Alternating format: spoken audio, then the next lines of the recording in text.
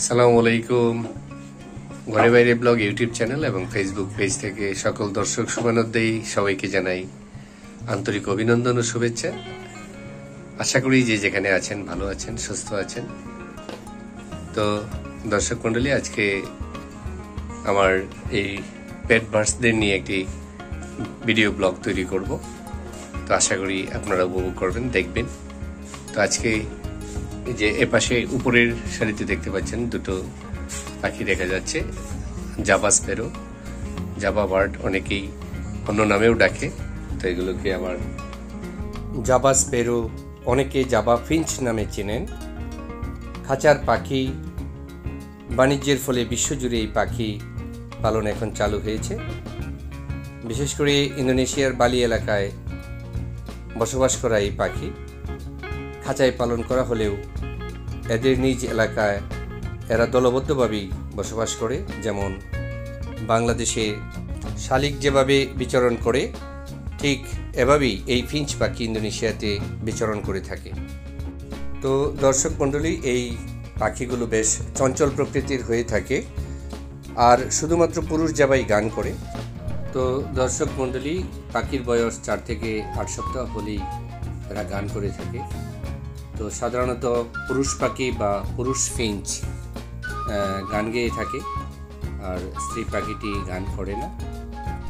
তবে স্ত্রী এবং পুরুষ উভয়ের ডাকে কিছুটা তারতম্য লক্ষ্য করা যায় এবং আমরা জানি যে শুধুমাত্র পুরুষ জাবাই গান করে থাকে।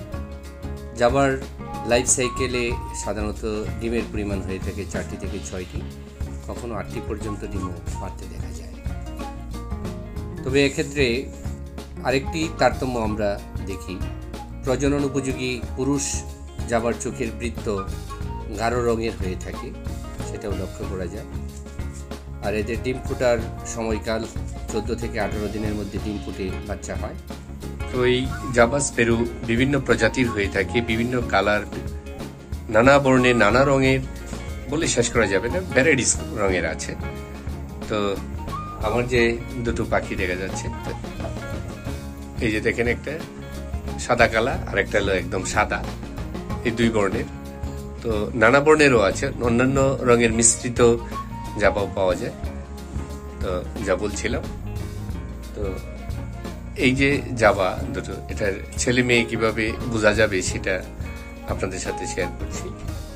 তো এই যে পাখিটা দেখতে পাচ্ছেন যে এখানে এটা বসা দেখে বোঝা যায় যে এটা ছেলে আর ওই দোলনাতে বসে আছে ওইটা মেয়ে, সাদা পাখি। সাদা পাখিগুলো আইডেন্টিফিকেশনটা একটু কঠিন। কারণ মেল এবং ফিমেল দুইটাই প্রায় একই রকম দেখায়।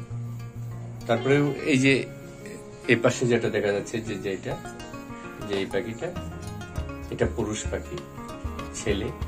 এটা ছেলে হওয়ার কারণ কি? বুঝলাম কেমনি? বোঝার উপায় হলো সে সব সময় মাথা উঁচু করে বসে থাকে, এই যে দেখবে আর ওই যে ফিমেলটা বসে আছে, দেখেন, দোলনায়, মাথা নিচু করে বসে আছে। তো এভাবে বোঝা যায় যে এটা পুরুষ পাখি, আর পিছনে যে সাদাটা দেখতে পাচ্ছেন, এটা মেয়ে পাখি। তো এটা বোঝার একটা ভালো উপায়।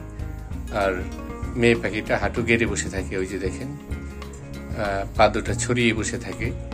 আর পুরুষ পাখিটা মাথা উঁচু করে পা দুটা সোজা করে দুই পায়ের মাঝখানে অল্প ফাঁক রেখে ও দাঁড়ায় থাকে। মাথা উঁচু করেই ঘুমায়। তো এই যে বিষয়টা দেখেই বোঝা যায় ওরা কোনটা ছেলে, কোনটা মেয়ে। এটা আমি দেখে বুঝতে পারলাম, ওদের স্বভাবগুলো দেখে যে এটা মেল, এটা ফিমেল। এটা তাদের বসার স্টাইল বা ধরন দেখে আইডেন্টিফি, আইডেন্টিফিকেশনটা ইজিলি করা যায়। তাছাড়া আরও একটা বিষয় আছে, যারা সূক্ষ্মভাবে এই যাবা মেল ফিমেল শনাক্তকরণ করতে চান, তাদেরকে পাখিটা ধরতে হবে। ধরে মেল পাখিটার ঠোঁটের উপরে কি থাকবে? একটু উঁচু থাকবে। একটু উঁচু হাত দিয়ে ঘষে দেখবেন যে উঁচু লাগছে, ঢেউ ঢেউ লাগছে। তখন বুঝবেন যে এটা মেল আর ফিমেলটা স্মুথ থাকবে। এটা এইভাবেও চেনা যায়। আরেকটা বিষয় হলো মেল পাখিটার মাথাটা একটু তুলনামূলকভাবে বড় থাকে ফিমেলটা একটু ছোট থাকে। এটা দেখেও বোঝা যায়। আরেকটা হলো টুটের কালার দেখে বোঝা জাবা পাখির মেল ফিমেল আইডেন্টিফিকেশনে তো জাবা পাখির যে ঠোঁট রয়েছে ঠোঁটের কালার দেখেও সেটা নির্ধারণ করা যায়। যদি দেখেন মেল পাখিটার ঠোঁটের রং হবে গাঢ় গোলাপি রঙের আর ফিমেলটা হবে হালকা গোলাপি রঙে পার্থক্য দেখে বোঝা যাবে। এই যে দেখতেছেন সাদা পাখিটা, এই সাদা পাখিটা, সাদা পাখিটার ঠোঁট হলো হালকা গোলাপি হালকা গোলাপি বর্ণের। আর যে মেইল পাখিটা দেখছেন ওই যে কালো বর্ণের কালো আর এস কালারের, সেটা লাল হবে, ঠোঁট হবে, একদম গাঢ় লাল বোঝা যাচ্ছে দেখে। মেল ফিমেল আইডেন্টিফিকেশন করা যায় তো দর্শক মন্ডলী ব্লগে থাকার জন্য ধন্যবাদ সবাই ভালো থাকবেন সুস্থ থাকবেন চ্যানেলটি সাবস্ক্রাইব করে পাশে থাকবেন